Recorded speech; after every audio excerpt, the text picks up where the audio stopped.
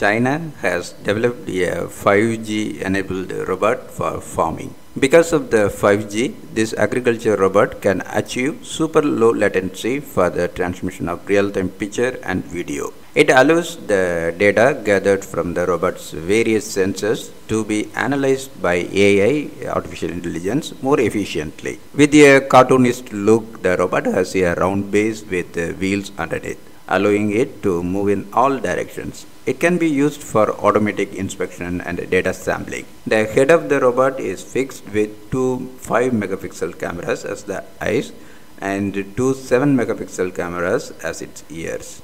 Sensors uh, to detect uh, wind velocity, carbon dioxide levels, humidity and temperature are also situated at the top of its head and mouth. With the AI algorithms, the robot can use the data to determine the plant's uh, health condition, pest control conditions, or even pick fruit with a bionic hand in the future.